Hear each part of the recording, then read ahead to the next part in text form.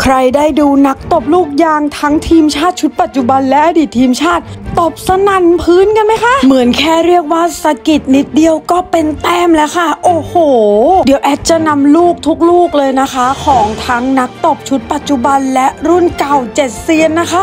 มาให้ชมกันวันนี้นะคะ นักตบลูกยางสาวไทยทั้งทีมชาติและอดีตทีมชาตินะคะ มีทั้งออนอุมาสิทธิรักษ์นะคะปลื้มจิตถิ่นขาวมาริกากันทองนะคะวันนาบัวแก้วนะคะ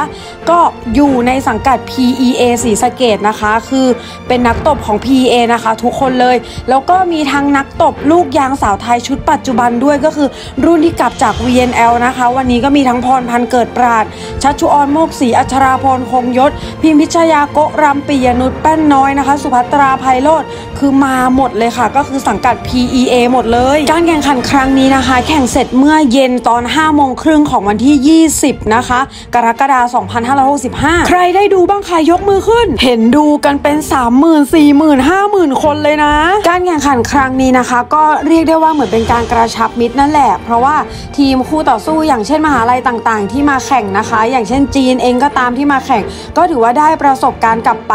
ได้กลยุทธ์ของแต่ละทีมนั่นแหละกลับไปปรับใช้กับทีมของตนเองได้ อย่างวันนี้ที่ PEA สีสะเกตแข่งอะนะคะ ที่ทีมชาติและอดีตทีมชาติแข่ง กลุ่มของจีนก็นั่งดูอยู่ข้างหลังทั้งทีมเลย คือเขาก็คงอยากมาดูแบบทีมชาติ แล้วก็ยิ่งเป็นทีมที่เพิ่งกลับจาก VNL เข้ารอบ final ของระดับโลกอีกอะทุกคน แล้ววันนี้นะคะ คนที่เข้ามาดูในสนามที่ศรีสะเกษค่อนข้างเยอะเลยนะทุกคนแทบจะเต็มสนามเลย บัตรราคา 60 บาทสำหรับผู้ใหญ่นะคะ และเด็ก 20 บาทใครอยู่แถวนั้น ไปชมพรุ่งนี้อีกวันค่ะ วันที่ 21 PEA สีสะเกตแข่งอีกใครอยากไปดูทีมชาติไปเลย พรุ่งนี้ก็คือแข่งของรอบแรกนะคะ แล้วก็น่าจะเข้ารอบ 2 แน่นอนแล้วแหละวันนี้ก็ได้เห็นทั้งทีมชาติชุดปัจจุบันนะคะ แล้วก็อดีตทีมชาติต้องบอกว่าน่ารัก ต้องการเห็นภาพนี้ค่ะ ทุกคนทุกคนก็รอเห็นภาพนี้ใช่ไหมคือแบบชอบเนอะทุกคนน่ารักอะ่ะอย่างพี่ปลื้มจิตพี่น่องถิ่นขาวนะคะ ก็ยังแบบแรงฟิตมากอย่าง พี่ปูมาริกาก็ฟิตก็คือตบทุกอย่างคือ เหมือนแบบคือตบนิดเดียวแค่เน้นฉีกอะไรก็คือ ตบฝังตบอะไรหมดแล้ว ออนอุมาสิทธิรักนะคะโอ้โหพี่ออนก็คือ ตบก็ยังเป็นแต้มอยู่คือทุกคนคือะกิดนิดเดียวก็เป็นแต้มแล้วค่ะ ไม่ต้องตบแรงค่ะ เน้นประสบการณ์ล้วนๆเลย หลายๆ ทีมคู่ต่อสู้นะคะ ในหลายหลายๆมหาลัยแล้วก็ทีมคู่ต่อสู้ก็คงจะอยากแข่งกับทีมชาติชุดนี้ แล้วก็อดีตทีมชาติด้วยเพราะว่า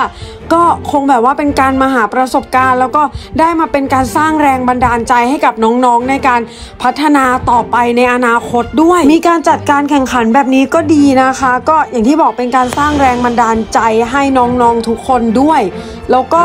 เดี๋ยวพวกเขาก็ต้องเก็บตัวไปชิงแชมป์โลกแล้วนะ ก็ขอให้อย่าให้มีอะไรบาดเจ็บอะไรเลย ขอให้ผ่านไปได้ด้วยดีนะคะ แล้วก็ไม่น่าจะพลาดแชมป์นะทุกคน PEA สีสะเกดเนี่ย วันพรุ่งนี้นะคะ วันที่ 21 PEA สีสะเกดแข่งกับซูพรีมชนบุรีอีเทคค่ะ5โมงครึ่ง เอาแหละต้องดูเลย ดูถ่ายทอดสดได้ที่ช่อง YouTube TVA Channel นะคะ ทุกคนถ่ายทอดสดตลอด ตั้งแต่ทีมชายเลยนะคะ เวลาเช้าก็คือตั้งแต่ 10โมงครึ่งเป็นต้นไปเลย ลากยาวไปจนถึง5โมงครึ่ง6โมงครึ่งเลยนะคะ จนกว่าจะแข่งเสร็จ ยังไงทุกคนก็อย่าลืมไปดูช่อง YouTube TVA Channel นะคะ ของทางสมาคมนะ ไปดูเพื่อให้กำลังใจทุกทีมด้วยนะคะแล้วก็เพื่อเป็นการให้กำลังใจทางสมาคมในการจัดการแข่งขันรายการให้ทุกคนได้มีการ